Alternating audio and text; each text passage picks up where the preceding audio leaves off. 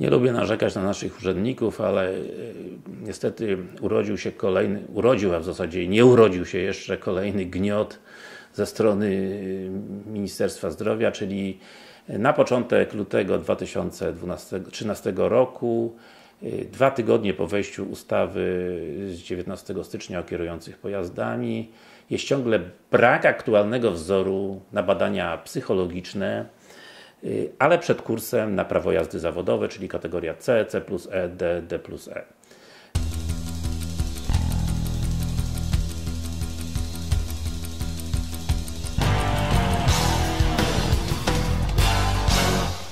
Y, dzień dobry, w nawiązaniu do mojej wizyty w Pana gabinecie w zeszłym tygodniu mam pytanie, czy Ministerstwo wydało już wytyczne w związku z przeprowadzaniem badań psychotechnicznych dla osób yy, przystępujących do egzaminu na C plus E. Taki dokument jest wy wymagany przez WORD we Wrocławiu od dnia 19 stycznia.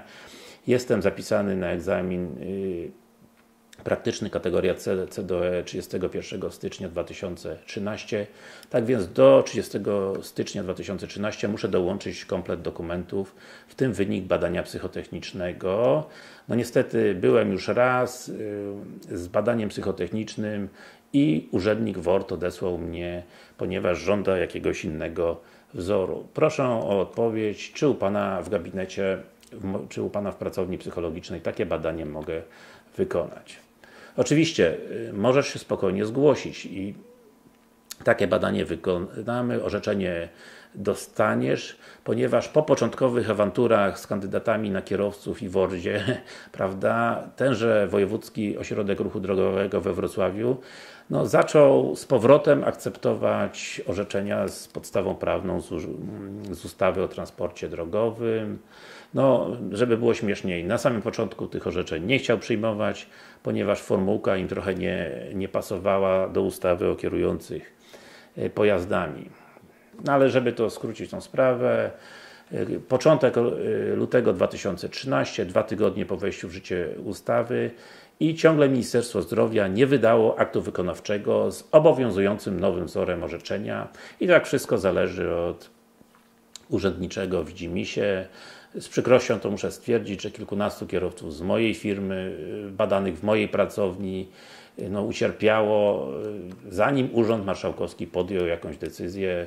Czyli tak w sumie decyzja polegała na tym, że zaakceptowali wzory, które na początku odrzucali, czyli kilkunastu kierowców poszło z moim wzorem, zostało odrzuconych, potem jakiś inny wzór, na mija dwa tygodnie i z powrotem wraca mój wzór, prawda, to, to jest po prostu paranoja.